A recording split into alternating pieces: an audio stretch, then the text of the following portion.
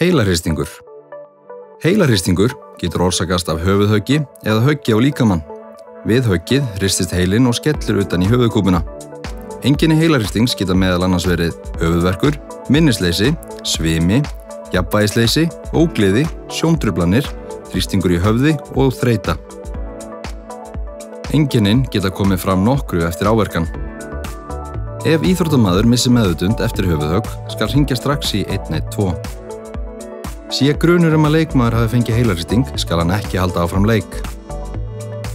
Læknir, þjálfari, fóreldrar og liðsfélagar þurfa að vita ef einhver hefur fengið höfuðhögg.